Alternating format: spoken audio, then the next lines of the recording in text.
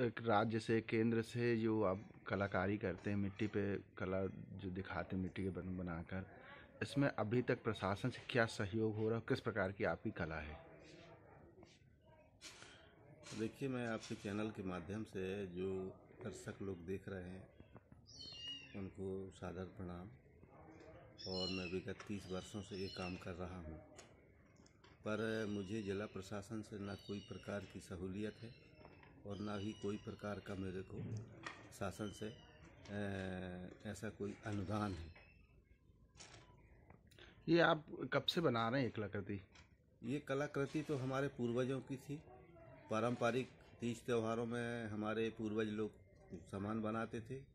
पर मुझे ऐसा कुछ एक समय आया कि मुझे आंध्र प्रदेश के नेल्लूर ज़िले में ट्रेनिंग के लिए पहुँचाया गया। आज से कम से कम तीस से पैंतीस साल पुरानी बात है। तो मैं वहाँ से ट्रेनिंग लेकर के आके मेरा फिर मैंने अपना रजिस्ट्रेशन करवाया भोपाल से। इसके बाद फिर कुछ शासन की ऐसी योजना के कारण क्या है कि शिल्प मड़ाई वगैरह लगती हैं दूसरे राज्यों से और दूसरे ज़िलों से।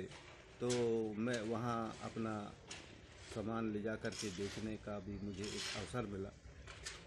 केंद्र और राज्य से आपको प्रशस्ति पत्र मिले हुए हैं। इसके बाद भी क्या आप, आपको जिला प्रशासन पेंशन वगैरह कुछ दे रहा नहीं दे रहा?